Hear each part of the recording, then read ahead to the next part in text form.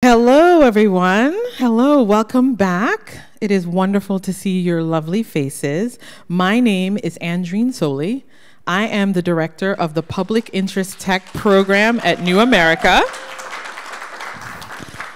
I am so delighted to be a part of this MLK Junior celebration. Uh, it has been my long dream to blend public interest technology and the civil rights movement. I am so fortunate to have um, someone I think of as a partner in crime in many ways, but not in crime, in wonderful things as well. Dr. Fallon Wilson as our keynote this afternoon. Um, the reason why this is so important to me is that Fallon and I have been having an ongoing dialogue about the intersection of public interest technology and historically black universities for a very long time. And we have always believed that HBCUs are public interest institutions. And we have been interrogating what that means together on this journey. And so it is just an honor to be able to have her reflect on that to you all. And I am going to do the thing that you must do with fantastic scholarly black women. We're going to give them their props. So I am delighted to read briefly through her bio so you understand all of the wonderful things that Fallon has done. Dr. Fallon Wilson, she is the co-founder of Black Tech Futures Research Institute and vice president of policy at the Multicultural Media Telecom Internet Council. Through her work with nonprofits, academia, and government partnerships, Dr. Wilson strives to make visible the work of historic and modern day Black crisis solvers. I just love that framing. She invests her time in strengthening the tech ecosystem nationwide, especially as it relates both to Black women technologists and also underrepresented persons of color who may not have access to the ever changing arena of technology. Her TED Nashville presentation of Stop Ignoring Black Women and Here of Our Tech Prophecies eloquently addresses the intersection of historical realities for Black women, spirituality, and technology. If this is not a moment for that, I don't know what is. so, um, her work aims to end the great technical divide that exists between the races, while also seeking to put an end to misconceptions about the abilities and skills of Black people that allow the perpetuation of said divide. Dr. Wilson acts with a strong lens of equity and tech inclusion within tech ecosystem for positive workforce outcomes. She is a proud graduate of Spelman College. Please do me the honor of welcoming Dr. Fallon Wilson.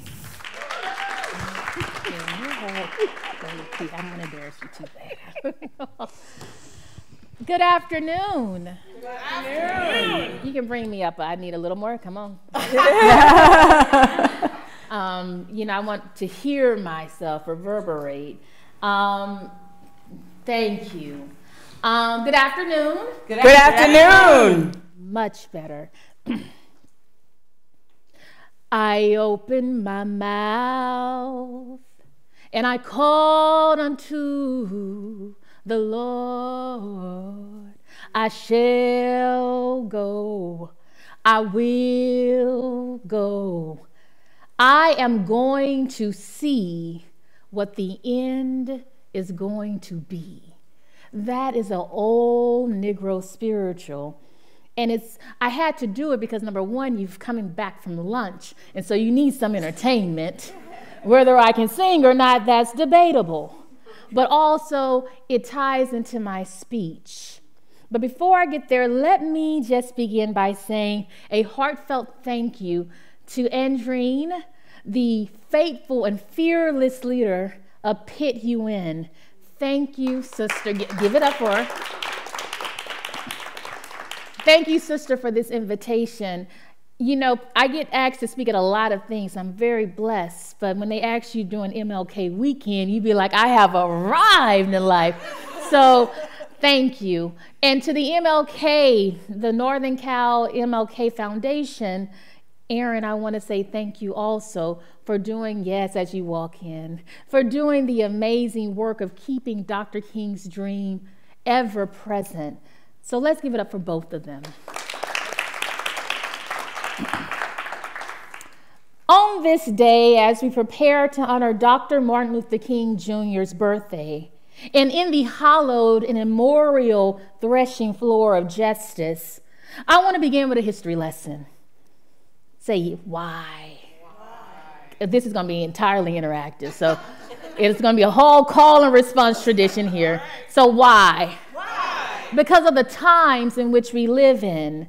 We live in a time where cultural disremembrance and the erasure of our history as black people in this country is the norm where in southern states, critical race theories and book chapters about American slavery are being banned from primary and secondary education. We live in a time where the Supreme Court, stocked with conservative judges, opened the floodgates for colleges, universities, nonprofits, foundations, and companies to loudly at times but more recently, quietly at times, discontinue their digital equity, inclusion efforts, and dismantling the thing they loved so much during George Floyd that black lives indeed matter. We live in a time where simply mumbling racism and xenophobia will cause you to lose your presidential appointment, your job, your business, your fearless fund for black women. These are the times in which we live. We live in this time. Which is why I want to start with a history lesson, because let me tell you,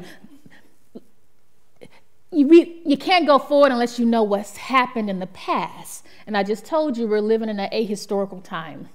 So let me begin this with a history lesson, in particular for those who do social justice work. Where's your hand if you do any type of social justice work? That should be everybody in here. Okay, and then everybody to raise their hands. I'm not to call you out. Um, but also, in particular, for those who do justice work in science, technology, engineering, mathematics, computer science. Today, I'm going to talk to both groups the traditional social justice activists those who have been organizing and mobilizing for their communities on a host of social justice issues. And I'm also going to talk to the new kids on the block, all of the public interest technologists in the audience, right? Um, those who, for the eight or 10 years, have sought to hold tech companies accountable for how they use our data and their technologies in ways that negatively impact our democracy. Say democracy in our everyday freedoms. Today, I teach a brief history lesson on two black freedom movements. Come with me, close your eyes, close your eyes. There we go. To 1925, A. Philip Randolph founded the Brotherhood of Sleeping Car Porters to improve the working conditions of being a black porter in this country, a porter. they were the domestic help on the train. That is the best way I'm going to say it. They helped white people get their bags up. They gave them tea. They were service, right? And so A. Philip Randolph founded this union because the white union said, You can't come with us. But they founded this union. This act of resistance to discriminatory and oppressive working conditions helped improve, after 10 years of organizing, it took them 10 years of organizing, helped improve the financial standing and the health of black porters and helped to seed motion, put into motion our modern day civil rights movement, where a porter named Edgar D. Nixon was a Pullman porter in Montgomery, Alabama. And we'll get a little bit more into his story and the Montgomery bus boycott in a moment. But here's a critical history lesson here. I said a group of black men organized to talk about the oppression they experienced as being porters but they did not have to have the scientific knowledge of how a superpower locomotive train worked. They didn't have to know that you have to have a big firebox to increase the horsepower of these locomotive trains. Philip Randolph and other porters were not train engineers. I, y'all are quiet. You're like, where I'm going? I'm going with this. However, that did not stop them from organizing against discrimination because they were experts in justice. Say justice. justice. Keep that, I'm going somewhere. So jump 30 years from 1925 to 1955. Jo Ann Robinson, president of the Women Political Council, under the founding leadership of Mary Fair Burks, you got to talk about all the black women in civil rights. I'm going to be naming a lot of folks launched the Montgomery bus boycott. Uh, often, when we tell the story of the Montgomery bus boycott, no offense to Dr. King, it was founded by black women. It was organized by black women, in particular, the Women Political Council. And so they, under the leadership of Jo Ann Robinson, with the help of the Pullman Porter that helped found the, the sleeping car porter movement, right, 30 years prior, launched the Montgomery bus boycott, chose Rosa Parks to be the face, organized for a year, took them to court, and all of that ended discrimination on the buses in Montgomery. But to achieve these outcomes, Jo Ann Robinson and the other black women did not need to know how a 1950s motorized bus worked. Do you see where I'm going with this? right? They didn't have to know that it had to have a rear engine and that it had to have a lot of space for it to, to drum up the energy. The Women's Political Council were not educated as bus engineers, even though they were scholars and professors at HBCUs in Montgomery. Hold that there too, okay? However, that did not stop them from organizing against discrimination because they were experts in. Justice. Oh, y'all gonna get this going, yes. The historical point I'm trying to make is that both the locomotive train and the 1950s motorized bus were disruptive technologies like artificial intelligence that revolutionized transportation and drastically changed everyday American life.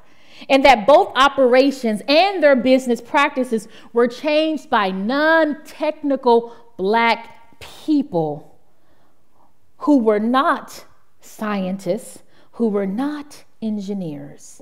They were like, dang, we thought we were going to talk about technology and people. Black people altered how these technologies would treat them because they believed in justice. Oh, keep that. Because they, as former slaves and as two generations removed from slavery, they knew firsthand what injustice looked like. It looked like strange fruit hanging from the popular tree, sung by the words of Billie Holiday. It looked like hungry black families in the rural southern counties during the Great Depression who had no help from our government. It looked like 14 year old Emmett Till with a bludgeoned face in a child casket. It looked like and was injustice. Therefore, to the traditional social justice advocates out there who are watching me online, people who organize for all types of issues, you can't completely, see, I'm about to make it everybody upset, you can't completely change how artificial intelligence will affect your community without having a science, a technology, a engineering, a mathematics, a data science degree.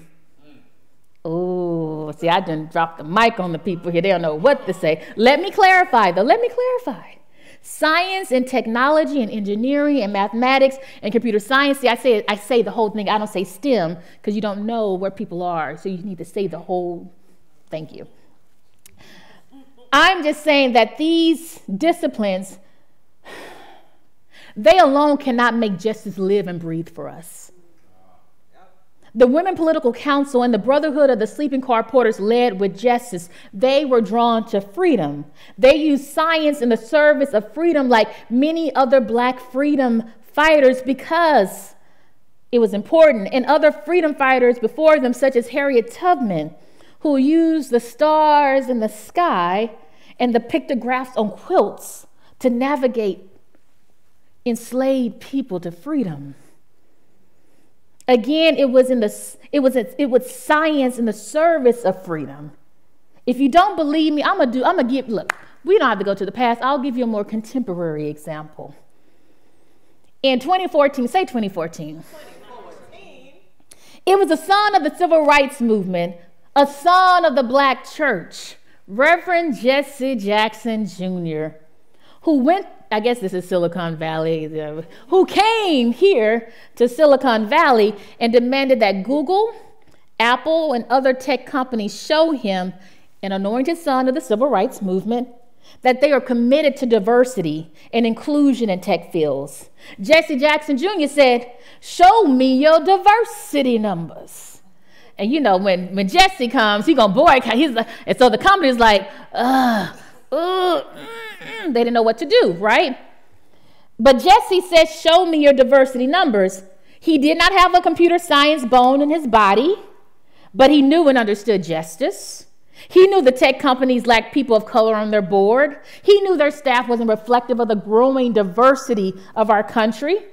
It was a black man without a science degree, technology degree, engineering degree, mathematics degree, computer science degree, yet armed with degrees in sociology, armed with a degree in divinity, the humanities and the social sciences, I mean, it keeps humanities and the social scientists, made the tech companies publish for the first time in 2014, and Lily, you know, K4, you can agree with, made them share their numbers so that we knew and we were all appalled when we saw the numbers, right? You see, they were afraid of Jesse's anointing. Some things are not about what you know, some things are about the spiritual power you gain for doing justice. They were afraid of what his spirit would convict in them. The One Justice Act opened the door to tech companies, and for the last 10 years, until this recent anti affirmative action moment, they, companies launched all types of ways to experiment with DEI. We had ERGs. I mean, everyone was thinking about how to improve the numbers over that 10 year period. It was a black man, a black man of faith, a son of the civil rights movement who forced tech companies to their knees. He understood justice. He did justice, meaning every social justice advocate, once again, can be leaders in artificial intelligent futures. I'm gonna need a clap on that. I told you you're gonna, you're gonna have some church in here today.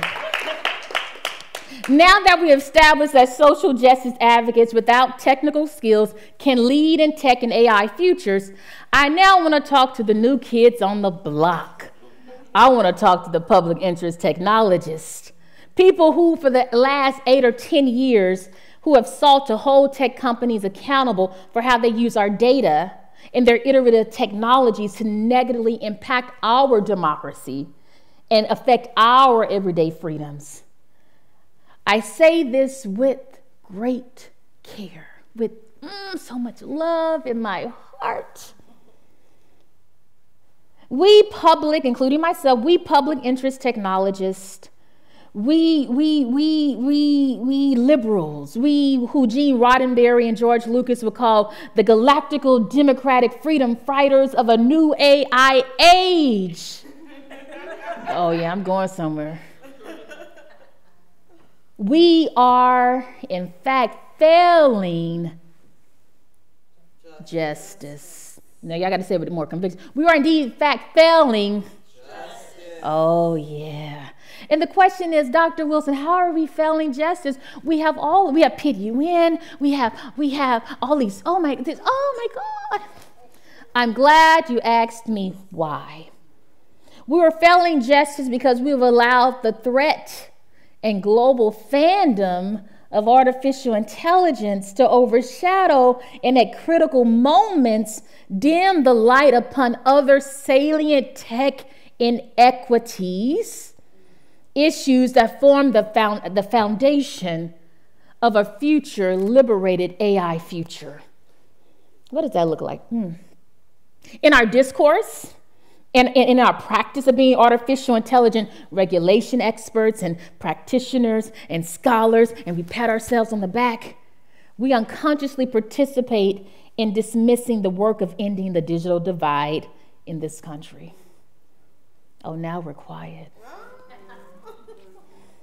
Our endless regulation fight against would be tech oligarchs leaves us emotionally exhausted, which is the perfect breeding ground of presumptions. Say presumptions. We presume that everyone in this country has internet access. We presume that everyone in this country has access to a computer not their mobile phones that black and brown people over index on and has data caps. And I want to give into my little stump story on why that's problematic and why we allow people to perpetuate that narrative. We presume that everyone in this country has the digital literate, media literate skills to understand what it means to work alongside future AI machines. We presume. We presume that every cultural community, anchor institution within black and poor communities, such as churches, say churches, churches. Libraries, libraries, and HBCUs, all have high speed internet to support the thousands of black people who live within their spaces around these institutions of what we call tech deserts. We presume the bipartisan funding of the $45 billion for the internet in this country will magically solve all the decades long digital divide. We presume. Our weariness of daily fighting the seen and unseen AI trappings of tech bros makes us presume, when the reality is that 42 million Americans don't have high speed internet, 31% of black Americans don't have internet. And 38% of black Americans living in the black rural belt, where the majority of black people live in this country, don't have any type of internet. So tell me, public interest technologists, tell me, galactical freedom fighters, how do you have a future AI moment when people don't have the basics, foundations for a future because they don't have internet? Where is your discourse there? Hey, we presume. And so I say this this is what I say. With the weary heart and the weight of my ancestor, Dr. Mary McLeod Bethune, a black woman educator, an activist, founder of Bethune Cookman College, great thinker, scholar, actor. Oh. I simply shake my head also because we're failing justice. I'm going back to that.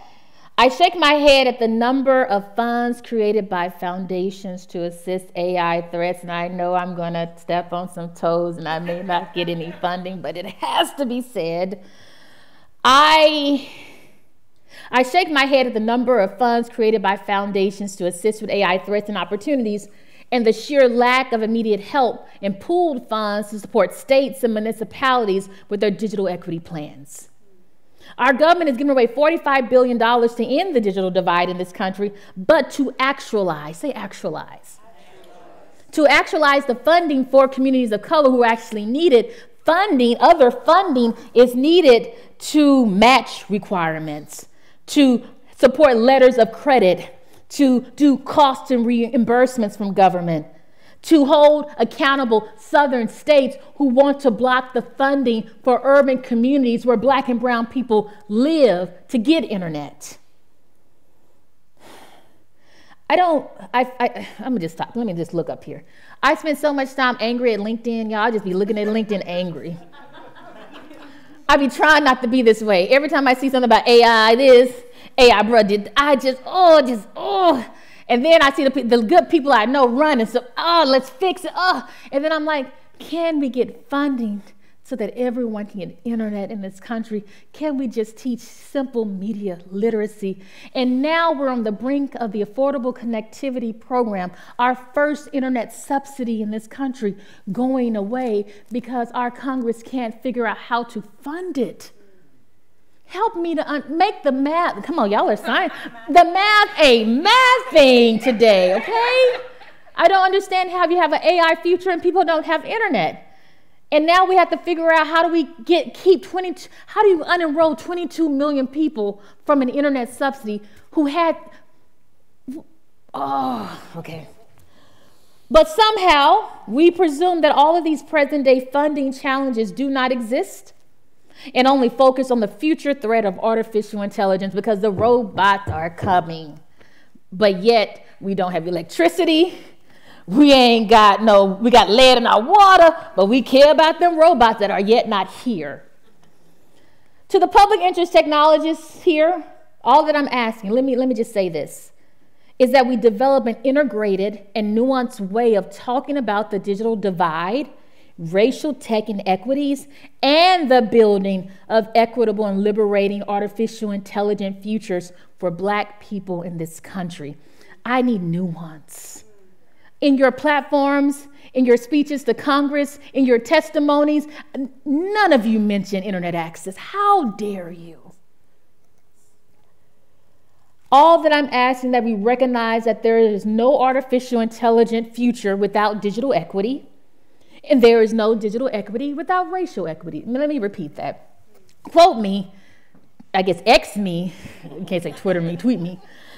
Don't tweet me because I don't tweet me. Yeah, keep me off of there what I'm saying, yeah, I'm gonna say it again. I want you to hear it. There is no artificial intelligent future without digital equity, and there is no digital equity without racial equity in this country. Quote me. And if we can do this, then public interest technologists, galactical freedom fighters of a new AI age, we would not be failing justice. And so, to both the traditional social justice advocate and the new kids on the block, public interest technologists, this work against oppressive systems now enshrined in computer code, what my beloved Spelman sister, Dr. Ruha Benjamin, calls the new Jim Code, is designed to dehumanize us, to completely exhaust us of our collective joy. And because of this, I started my speech with a history lesson. We're going back there because it's going to all make sense a lesson about my ancestors, not only to demonstrate the everyday power of black people to change discriminatory practices of buses and trains, new technologies of their time, but also to teach two lessons. First, my black ancestors proudly did work with black institutions such as black churches and historically black colleges and universities, affectionately known as HBCUs, because they were counterpublics, say counterpublics analog 2D distributed networks that centered blackness and loved black people. This is an important point. You don't want to miss this. I believe in my core that in order to develop a nuanced and intersectional digital equity artificial intelligence policy platform, I've given this to y'all, and a larger social movement that Latanya talked about last night in her remarks, that propels it, it will require we work and fund, say fund, black and brown cultural and legacy institutions because this is where black people feel honored, safe, and seen as leaders. And this is what I want to say to thank you Andreen for. You are intentionally seeking how to build out this space for HBCUs, for tribal colleges, and for HSIs. It is a it is a noble and a godly like task to do this work because people don't seek us out. Let's give her another round of applause. But, but, but I will say this. I get why we don't want why you don't want to work with HBCUs. Uh, you know, let me tell you why. You overlook these physical institutions of brick and mortar and only focus on saving our HBCU students, not the institutions, there's a difference, or helping the local activists and not the recreation center on the corner where they actually do the work. Because these cultural physical spaces, they look vintage. They lack the Federal Communications definition of internet. They employ draconian processes. They worship at the altar of Karl Weber's theory of bureaucracy. And they use these And these historic institutions are completely imperfect. Say imperfect. imperfect. Complicated. Complicated. Downright sticky. When it comes to supporting the pristine black or white agenda of the progressive left. That's why you push us away, because we don't always agree with you. But we have our reasons. But mark my words, as shown in my history lesson, as it was in the civil rights movement, it will be these lumbering, not always politically woke institutions that spark and sustain a social movement for an inclusive, liberated, artificial, intelligent future, the one that Afua and others are building, it would be these institutions that come to aid at the end of the day and stay when funding runs out. Because they know, Justice. because they know Justice. the second reason why I started with the history lesson was to talk about how my black ancestors called forth their faith against oppression.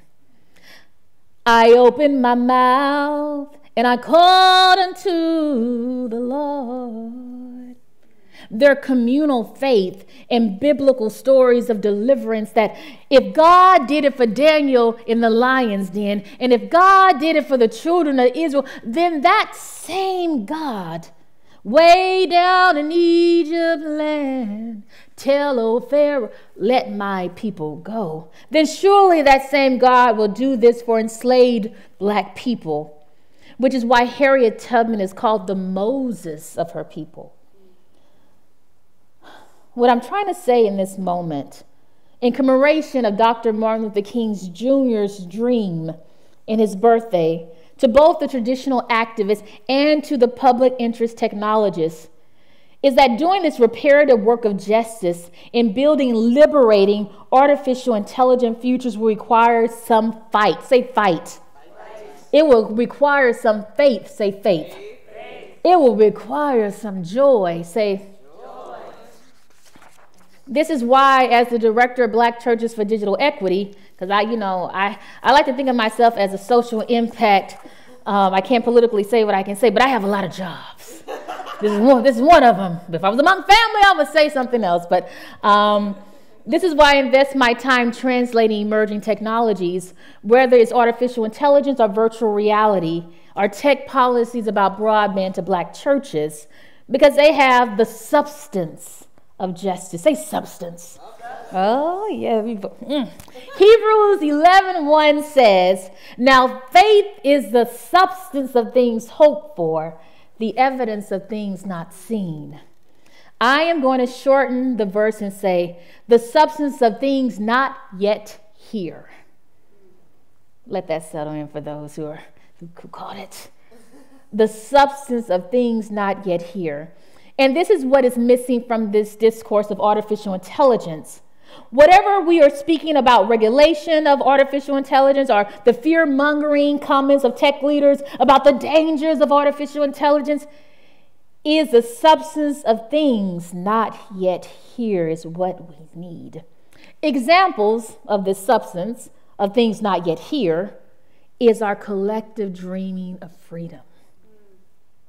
You see, it is easier for me to talk about hope and faith and, within churches and mosques and temples because they believe in the unseen and in the substance of the things not yet here. Furthermore, every Sunday or Saturday, they translate concepts of hope, grief, and pain through images, stories, and allegories. Which is why I believe they can also translate and transmute the, the substance, right? Of these issues of digital equity and artificial intelligence by using the same holy and figurative language that they employ on Sunday and Saturday services, such as when the Spirit of the Lord said to Ezekiel in the Christian tradition in the valley of dry bones, Can these bones live? Let me just say, as a child hearing this, I was like, oh, God can bring people back from the dead. And so he's and so God, the spirit of the Lord, not God, but the spirit of the Lord said, "Can these bones live?" To Ezekiel, and Ezekiel said, by your word god it can live. And then you and then the imagery is that you see god like wrapping tendons and ligaments and, and forming a human body. And this thing that was inanimate became alive. I say to all of the preachers and imams i talk to you can take that same old testament story and talk about are robots alive can they live what type of coding do we need to infuse into their digital ligaments so that they can uplift and understand and see Black people as people and not deficits as code? Same thing for me, right? And so you see, it is this type of spiritual coding, spiritual pouring that is collective and is aggregated within our historical cultural institutions. So when you only want our students and you don't want our institutions, you miss the substance of things not yet here because they're one and the same. And so for me, this is important because we need to breathe life into the coming robots, but also into us. We're tired of fighting against the would be tech oligarchs. And also, this work can be deeply demoralizing but we have the substance. And as my 80 year old grandmother would say, sometimes you have to stir up your soul for the work ahead. Because this work be about freedom, this work be about justice, this work for both the traditional social justice advocate and for new public interest technologists. It is about freedom. And freedom is of substance and of people and of non technical things. Therefore, just as Dr. Martin Luther King did in his speech delivered at the March on Washington for Jobs and Freedom in the nation's capital, standing in front of the Lincoln Memorial in August of 1963, I leave you with a dream. You know, every good pastor got to close out. Just had a digital pastoring moment. I dream of a united national black tech ecosystem, reminiscent of Tulsa's Black Wall Street before it was annihilated by white supremacy, reminiscent of Dr. Mary McLeod Bethune's Black Cabinet during the Great Depression. A united national black tech ecosystem fraught with the ideological debates of Dr. W. Du Bois and Booker T. Washington Shall we invest time in tech trades of solar paneling and digital fabrications? Or dive into machine learning language models? Interwoven digital tropes with writing past movement wrongs of sexism and homophobia by investing in black women and black queer leadership as we build a digital future. I dream of a flesh and blood Wakanda like united black tech ecosystem that spans the worlds of black political thought in artificial intelligence, weaving between historical black diasporic justice movements, black nationalism, pan Africanism, integration ideologies, negritude, liberation theologies, pan political African pan African political thought, harnessed in code to teach machines to truly love and honor the melanated hues of black skin. Black genius and black brilliance will cascade down the red hills of Georgia and in the wet deltas of Mississippi, deconstructing years of an ever widening racial wealth gap because we have fostered through traditional susus, come on, susus and black church tithing before crowdfunding. Black, uh, we would have created the first black unicorn billion dollar tech company. Machines and AI will rush to greet us as living, breathing black people and not as data deficits in their code. I dream that this movement will be led by black faith communities, pastors and imams and rabbis, all organizing a social movement because they know future is their future. This is my favorite part, though, of, the dream that I'm giving, mind you. I dream as baby Suggs dreamed in Toni Morrison's The Beloved. Ugh. it, you know, I love the book in general, the movie, but there's one part of the book that I just love more. So, so Baby Suggs was the the slaves would gather in the clearing. Let me just give you the context. They they would gather in the clearing, and they would have their own church. They would talk about scriptures in the Bible that gave them life, and it was like a, a, a counter public space. So this is it. Baby Suggs. It started that way laughing children, dancing men, crying women. Then it got mixed up. Women started crying and danced. Men sat down and cried. These are slaves. Children danced. Women laughed. And then they all, through exhaustion, fell down into the clearing, breathing in each other's joy. In the silence that followed, baby Suggs, holy, offered up to them her great big heart. She did not tell them to clean up their lives or go and sin no more. She did not tell them they were the blessed of the earth and its inheriting meek or its glory bound pure. Listen, she told them that the only grace they could have was the grace they the only grace justice, the only grace justice that they could have was the grace justice that they could see, that they could imagine. The ultimate prophecy for black people has always been that we will be seen as human beings, not as objects in chattel slavery, as people, not as objects in your defective ugh, your defective code. I am a black woman seer. I claim that. It is who I am. I stand in the tradition of my ancestors and the black dreamers that I've mentioned in my speech, that I've named. These future seeing freedom justice black people. We build tech ecosystems that have not yet be, been seen are yet to exist. This is prophetic work, prophetic digital work of Afua. It is deeply spiritual. It is saying that both in the present and in the future that black lives matter. Computers will know us. We will be seen. This is my dream. This is my prophecy. I open my mouth and I called unto the Lord. I shall go, I will go. I am going to see what justice is going to bring. Thank you.